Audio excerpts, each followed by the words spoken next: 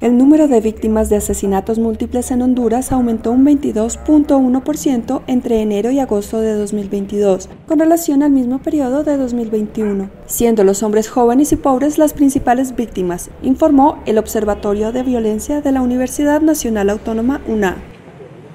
La directora del observatorio, Migdonia Ayestas, dijo a EFE que los departamentos de Cortés, Francisco Mozarán y Santa Bárbara, norte, centro y occidente del país, son las regiones que más víctimas y casos de asesinatos múltiples registran este año.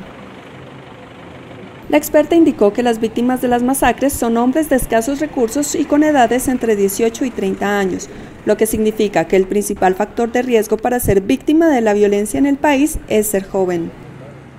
En todo este entramado, las personas jóvenes sin recursos y que viven en zonas especialmente violentas, controladas por maras, pandillas y grupos criminales como el narcotráfico, son la población más afectada por la violencia en Honduras. Mujeres también son víctimas. Hay un promedio de 12 mujeres que han perdido la vida en esas mismas escenas del crimen, subrayó Ayestas.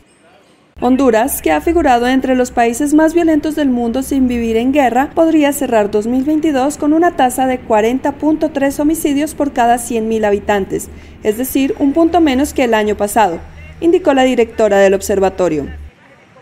Asimismo, destacó que las estrategias de seguridad en Honduras deben tener un balance entre la persecución del delito y la prevención de la delincuencia, pero las autoridades se han dedicado solo a disuadir el delito.